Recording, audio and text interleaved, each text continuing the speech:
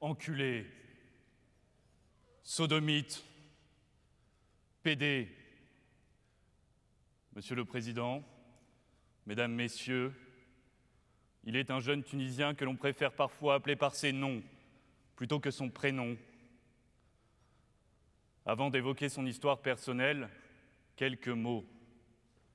Je ne suis pas ici pour rappeler des évidences, des généralités.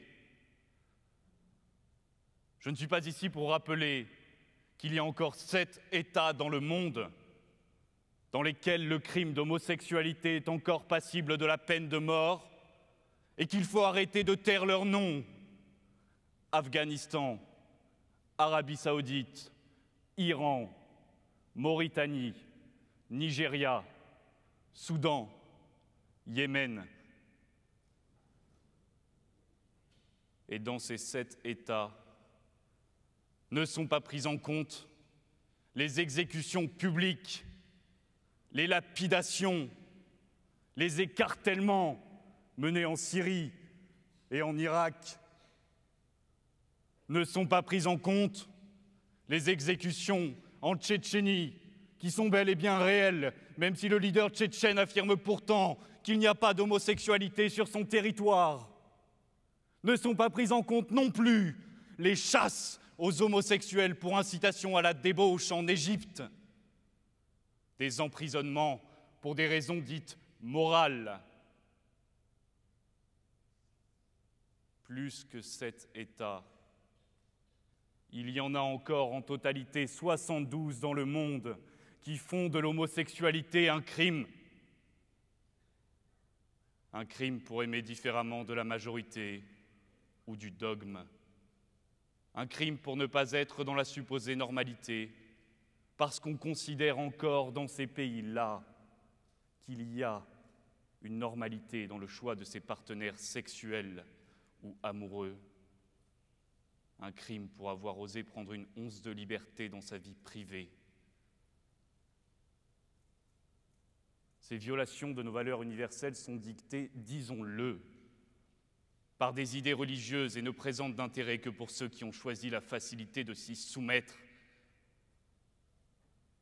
Derrière ces propos qui peuvent sembler abstraits, généraux, il est des histoires individuelles, personnelles, qui nous rappelle chaque jour qu'il s'agit bien d'une réalité. Si je suis ici devant vous, Monsieur le Président, Mesdames, Messieurs, c'est pour vous parler d'un homme qui l'a bien connu, cette réalité-là, cette barbarie-là. Il l'a connu en Tunisie. Cet homme, c'est Edi Sali. Il est gay. Aujourd'hui, il est réfugié politique en France parce que la révélation de son homosexualité l'a enfermé dans un calvaire quotidien. Edi Salis était un étudiant à la faculté de droit de Tunis, un étudiant qui réussit, un étudiant qui s'investit.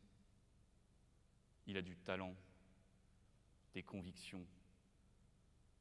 Edi Salis suit des cours avec un professeur, un avocat connu et reconnu. Lui-même veut devenir avocat. Tant que je serai examinateur du concours, vous ne serez jamais avocat. On n'a nullement besoin de personnes comme vous. Vous allez salir la profession. Ce sont les propos qu'a tenus cet avocat Eddy Sali. Alors voilà, si on en croit ce professeur, il n'y a pas de gays parmi les avocats tunisiens. Il ne doit pas y en avoir. Comment pourrait-il en être autrement si l'on veut qu'une profession soit pure pur. Triste vocable. L'idéologie homophobe n'a rien à envier à celles qui ont conduit l'homme à ses heures les plus sombres. Mort pour aimer, mort pour être, paraît-il, différent.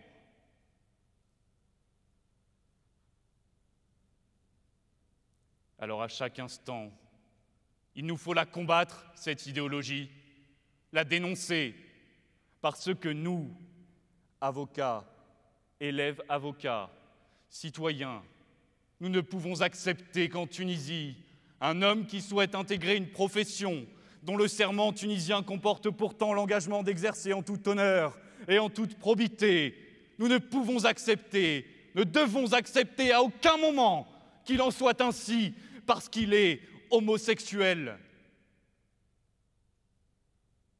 Voilà pourquoi j'ai voulu aujourd'hui plaider pour Eddie Sally.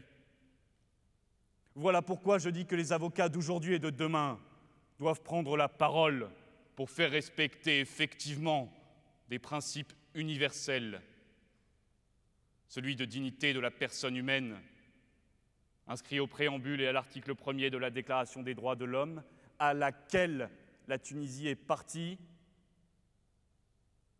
Doit-on également rappeler à la faculté de droit de Tunis, aux étudiants et citoyens homophobes que la Constitution tunisienne elle-même prévoit en son article 23 que l'État protège la dignité de l'être humain et que l'homophobie constitue assurément l'une des violations les plus importantes de ce principe fondamental. Une violation qui nous témoigne d'une intolérance qui n'a de place que dans des esprits étriqués, superficiels et incomplets. En Tunisie, l'article 230 de son code pénal interdit toute relation homosexuelle entre deux personnes adultes consentantes dans un lieu privé.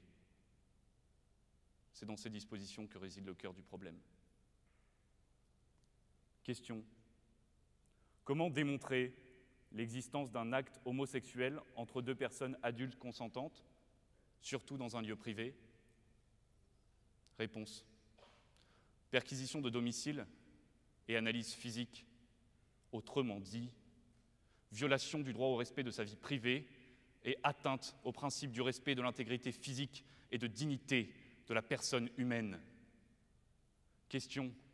Comment justifier que des méthodes archaïques, qualifiées d'inhumaines et dégradantes par le Comité contre la torture, comme l'examen anal, perdurent en Tunisie alors qu'elle s'est engagée à y mettre fin auprès de l'Organisation des Nations Unies? Réponse.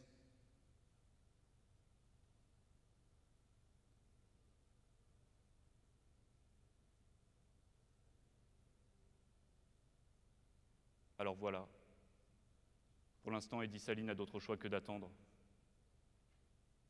Attendre que la conscience de certains devienne digne, digne de l'humanité. Sur sa vie plus personnelle, j'aurais presque aimé pouvoir vous dire que Eddie Sally s'est simplement fait insulter dans la rue par un passant. Mais ce n'est pas le cas. J'aurais presque aimé pouvoir vous dire qu'il ne s'est pas fait harceler, malmené deux à trois fois par jour, qu'on ne lui a pas dit, lorsqu'il allait au commissariat pour porter plainte pour agression, que ses agresseurs auraient dû finir le travail et le tuer. Mais ce n'est pas le cas. Qu'on ne dit plus aujourd'hui à un homosexuel en Tunisie de baisser son pantalon, de se pencher sur la table devant des policiers et des médecins pour réaliser un test anal. Mais ce n'est pas le cas. Au fond, je crois que Renaud avait raison. Il ne fait pas bon être pédé quand on est entouré d'enculés. À nous de rappeler, chaque fois que l'occasion se présente, que le principe du respect de l'intégrité physique est inhérent à chaque être humain et qu'il est triste de devoir rappeler encore aujourd'hui que les homosexuels en font partie. À nous d'éduquer les ignorants, de faire comprendre que l'homosexualité est un état et l'homophobie une idée.